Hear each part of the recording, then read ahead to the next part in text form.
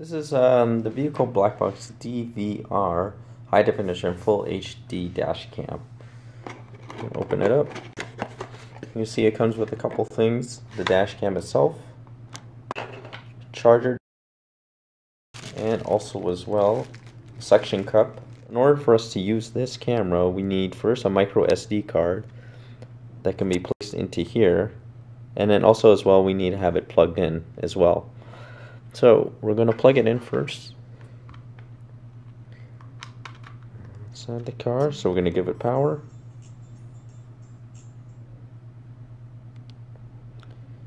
As you see, defaults to video mode, no card, no problem. Insert a SD card in.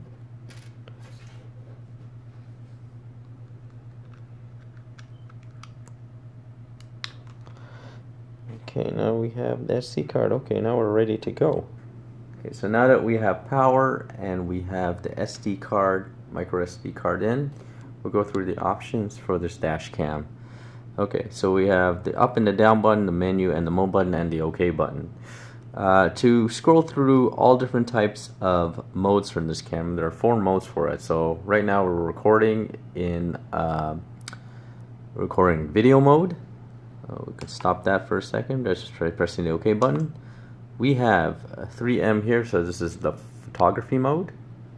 Uh, if you want to take a picture, you press OK. It will take a picture. We have the next mode, which is voice recorder.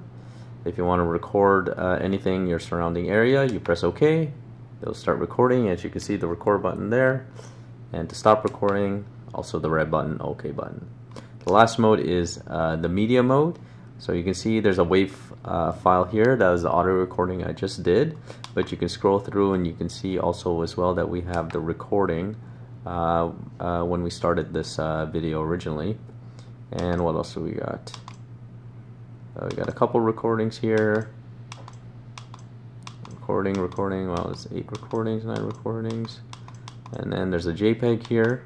We go up and down. I just took a picture and then as well uh, there is a, a, voice recording. Press record one more time. We're back in a video mode at 1080p. Um, so for each option, for each um, uh, for each mode that we have here, we have a menu system here. So let's start off with uh, the video mode here. So right now it's at 1080p, and then when you turn on your car, you can press OK, and it'll start recording in loops. Uh, and then when you're done, you can press it again to stop. Now in order to uh, toggle between all the functions in this uh, for video, you press the menu button. And then we have a whole bunch of things here in the video mode. So first of all, we have the size of it. So you can toggle up and down between what options you want. Size is uh, the size of the video that you want. Uh, depending on your uh, SD card size, your micro SD card, you might want it to be at a lower resolution. There are three resolutions here. I'll keep mine at the highest there is a timestamp option which gives you uh, the ability to have a watermark date on the video itself. Um, motion detection, which I can go through later. Uh, there is a video time, so that's how many, how long the video will be before it creates a new video.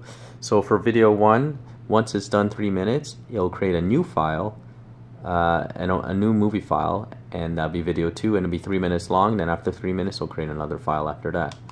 We have the voice recorder. We can turn that on and off, um, depending if you want to record the sound inside the car, as well as any outside um, uh, sounds as well. And that's about it for the video options.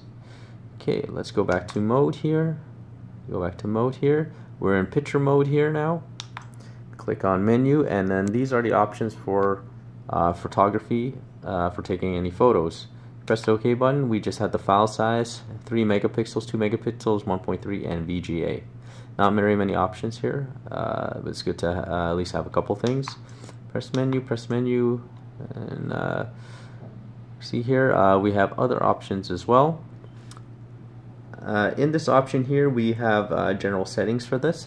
So the options that we have here is the format, the SD card if we want to, uh, you can do that by pressing OK, uh, scrolling down, and then pressing the OK button again, and it'll format uh, the SD card nice and clean.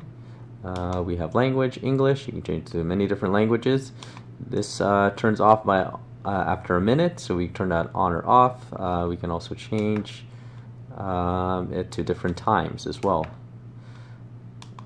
System reset, so we can reset to the factory settings uh, that this came in if we want to. We also have the light frequency 60 hertz or 50 hertz. Uh, this depends on the incandescent uh, lights that you have in your car outside. Um, it can stop flickering on the screen itself. So if you see any flickering, you might want to change this instead to uh, 50 hertz instead of 60 hertz. Okay, and then we have date input. If you want to include the date and time. Very simple, you just go uh, press OK to that and then you can change the date up or down. And then my date's okay so I'll just press OK OK OK OK and OK. USB uh, this is to see the files. If you have your SD card in you can plug this in using a USB uh, cable to put into your into your computer and you can see the files pop up as if it was a USB drive or a USB key and then you can see the version of uh, if there is any updates to this what version this is or uh, what model it is so let's uh, let's press menu, escape. We're in photography mode right now, as you can see. So let's press menu again. We are in voice recording mode. If you want to make any changes to that, you can press the menu button. And it goes back to here. Uh, what else we got here? No media here. So I formatted the card earlier, so there's no media here as well. And um, we go back to uh, video mode here. So what we could do um, uh, when we're in the car, we can set it up where we can uh, just press, uh, as soon as it turns on, it actually starts recording. Uh, if you don't want it to record for whatever reason, you can just press OK to stop it and then press OK again to start it again. And you can see by the red dot there that it is recording. Uh, one thing that you can do as well um, the option on this, aside from having uh, a nighttime and daytime, nighttime you press up, or you press down, sorry, and you can have a nighttime mode with a light, or daytime mode without a light, as you can see. There's also motion detect in here as well. So we're in the video mode, press menu, and we have here motion detect. If you scroll down, and press OK to that. So motion detect is used for if you park your car and there's a disturbance around your car, uh, this will start recording uh, for 20 seconds and then turn off again unless the motion continues. It also depends on how much battery is left in this, whether it is charging through uh, the lighter, the, the 5 uh, volt po uh, port, or if it's uh, being powered by something else. we can leave that on, we can press OK, I press menu to get out of this, menu get out of this. So this should be in motion detect mode. So we're not in the car right now, but I'll just create a disturbance just by, uh, just by turning it here like this.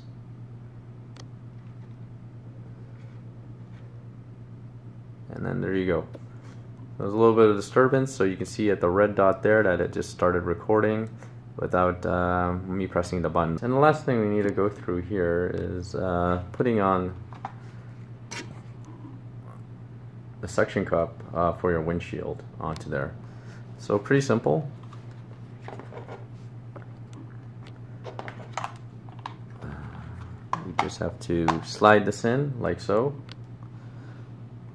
Push down and it's on. Simple as that. Rotate it and tighten it so it stays in place. So that's not moving very much, then you can tighten it a little bit there.